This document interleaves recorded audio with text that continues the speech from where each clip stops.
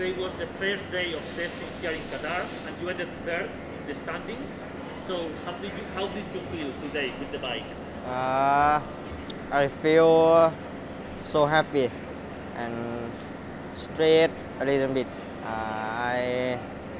improve. Uh, sorry. Um, How happy are you with the result? How happy are you?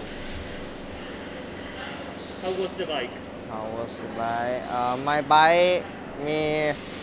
uh, good. Uh, thank you my mechanic. Uh, thank you my sponsor Thai Honda and my family and my fan thank you ก็สำหรับวันนี้นะครับผมก็พยายามขับให้เป็นตัวเองมากที่สุดครับผม แล้วก็พยายามมีสมาธิแล้วก็จดจ่อกับการซ้อมครับผม แล้วก็ใน race พรุ่งนี้เอ้ยในการ test พรุ่งนี้จะมีการ test ขึ้น 8 ครั้งครับผมก็จะพยายามทำให้เต็มที่ทำให้ดีที่สุดครับ ก็ขอขอบคุณไทยฮอนด้าแล้วก็ขอบคุณชาว Motorsport Thailand แล้วก็